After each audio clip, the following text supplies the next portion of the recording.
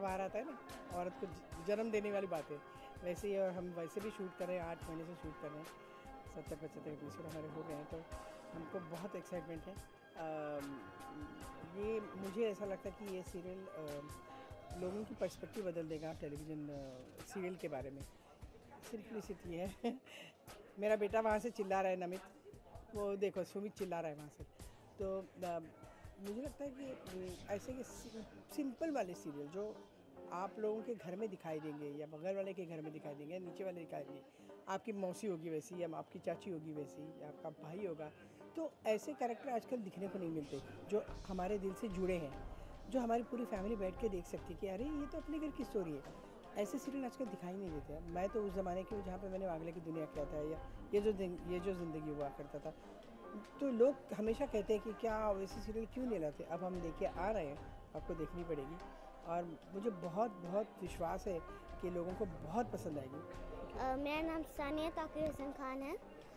और मैं आठ साल की हूँ और ये मेरा शो जो है मुझको बहुत अच्छा लगता है। मैं अ, मैं इसका जो रोल निभा रही हूँ सुमित संभालेगा। सुमित की बेटी।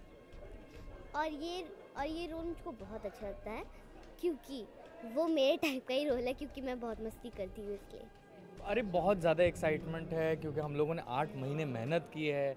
हम बहुत प्योरिस्ट हैं अपने आप में। हम थिएटर एक्टर्स हैं, जितने भी एक्टर्स हैं इस इस शो में। तो डेफिनेटली एक्साइटमेंट बहुत ज़्यादा है and I think we are on a very good wicket क्योंकि क्रिएटिव टीम ने बहुत मेहनत की है डायरेक्टर्स ने इतनी मेहनत की है प्रोड्यूसर्स ने इतनी मेहनत की है और जो भी मैंने एपिसोड देखे हैं जो भी टीम ने देखे हैं उसके हिसाब से हमें लगता है कि we are there and we are there to make people laugh actually कि मैं कोई पहली बार तो किसी सीरियल में काम नहीं कर रहा हूँ पर काफ़ी गैप की बात कर रहा हूँ।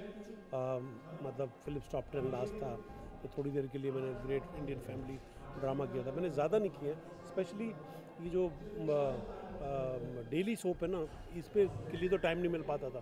तो ये पहली बार मेरा जो है ना एक डेली सोप में इन्वॉल्वमेंट है कि एवरी डे शो आएगा मतलब है ना।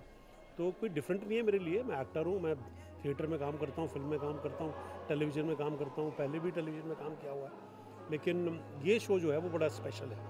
बिकॉज़ एक तो अ, मतलब अमेरिकन बड़ा सक्सेसफुल शो था एवरीबडी लव्स रेमंड उसका अडेप्टेशन है। स्टार प्लस ने उसके ऑफिशियल राइट्स लिए हैं। फिर कैसे इसको बनाया गया है? मतलब जहाँ पे रिहर्सल्स हुई रीडिंग्स हुई वर्कशॉप्स हुई अमेरिकन आए you know Steve specially you know हमको पूरा ब्रीफ किया गया यहाँ पर। शशांत शाह जो हमारे, जो बेस डायरेक्टर है मतलब यू नो सीरीज़ डायरेक्टर हैं, उन्होंने कैसे कैरेक्टराइजेशन उसको डेवलप किया। तो ये प्रोसेस जो है ना, ये मैंने पहली बार बहुत इन्जॉय किया। जो कि डेली सोप में वैसे कभी नहीं होता, लेकिन सुमित संभाल लेगा में हमने इस चीज़ को काफ़ी मतलब like theatre personality theatre person की जगह से, तरह से इस्तेमाल किया। I do I think American भी काफ़ी सरप्राइज़ हैं कि एक नया मोड़ उनके सीरियल को हमने दिया है। जब आप ये शो देखेंगे, आपको कभी लगेगा नहीं कि कहीं अमेरिका में इसका जन्म हुआ था। ऐसा लगता है कि ये यू नो इंडिया का ही हिस्सा है। हमने ही सोचा बिकॉज़ हमने बहुत मेहनत की है। राइटर्स रूम के साथ शुरुआत की है। बहुत सारे आर्ट राइटर्स एक साथ अमेरिकन कंसल्टेंट्स के साथ काम किया उन्होंने तो एक्टर्स की रिहर्सल्स दो तीन महीने। तो हमने, हम नौ महीने से ये बच्चा पेट पे लेके घूम रहे हैं। अब इससे पैदा होने का टाइम हो गया है। बट अडेप्टशंस का मज़ा एक और ही है। क्योंकि एक सीरियल जो सब जगह इतने पॉपुलर हुआ है, उसको बनाना उसकी एक अलग रिस्पॉन्सिबिलिटी है, जो हमने एज प्रोड्यूसर्स महसूस की।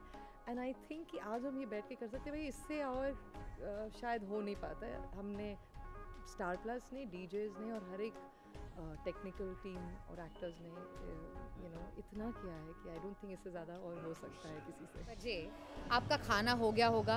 आपके ऑफ़िस के सारे कॉल्स ख़त्म हो गए होंगे। सास बहू आपकी जो घर की जो आपकी सारी इधर उधर की बातें होंगी, वो ख़त्म हो गई होंगी। तो बस सब भूल जाइए। स्टार प्लस शुरू कीजिए।